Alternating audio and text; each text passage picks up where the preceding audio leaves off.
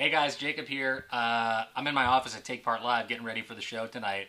Uh, just wanted to say sorry that I didn't upload a video this past weekend because I was in New York um, for New York Fashion Week. My wife uh, was opening a store for her company, so I got to go and celebrate that with her. It was really cool.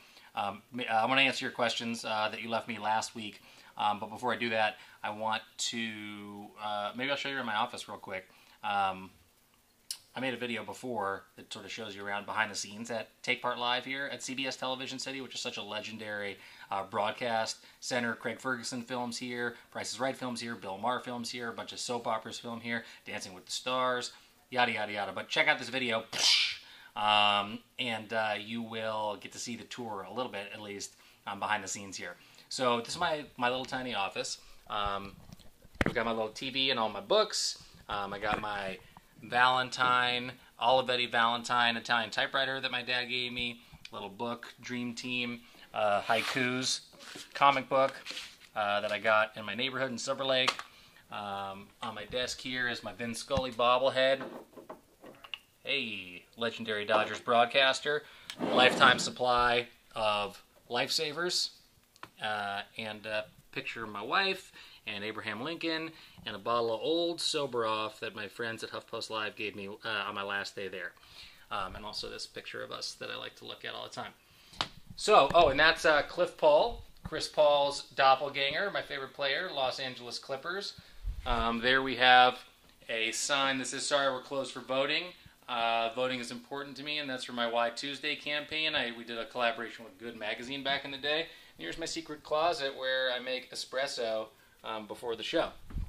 All right, enough of that. Um, Coco Pop, one, two, three, four, five, six says, "What would you do with no internet?" Uh, I don't know. I'm addicted to the internet. It's sort of bad.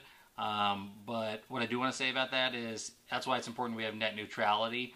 Um, I think tomorrow is the beginning of the campaign because the FCC is going to be deciding on net neutrality. I think on the 15th. We're talking about it actually tonight on TakePart Live. I have changed my avatar. If you go onto my Twitter um, to this little thing, uh, that uh, that is a campaign to encourage net neutrality. Right now, companies can have a fast lane on the internet, which means there will be slower internet for some or the rest of us, and uh, that's just not cool. Ian David says or asks thoughts on Joan Rivers passing. Uh, it's terribly sad. Um, Joan Rivers, incredible comedian, um, hysterical. I was cracking up. We had a video of her on YouTube Nation the other day. So quick witted, so hysterical, so on the ball, um, and really so trailblazing um, for so many, not just women comedians, but comedians in terms of the type of humor she did. Um, she will be very, very missed.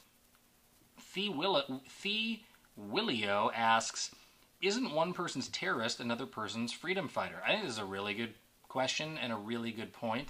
And I think one of the most important lessons I learned in college is you got to think about things from other people's vantage points. And the point of view um, that you come from is not the point of view necessarily that other people are coming from. And that's okay. Um, Rodrigo Arturo Ramirez Reyes says, Sup, Jacob? What is a video curator? Uh, at YouTube Nation, we have a team of video, video curators led by the one and only Ernest from Stump Ernest fame.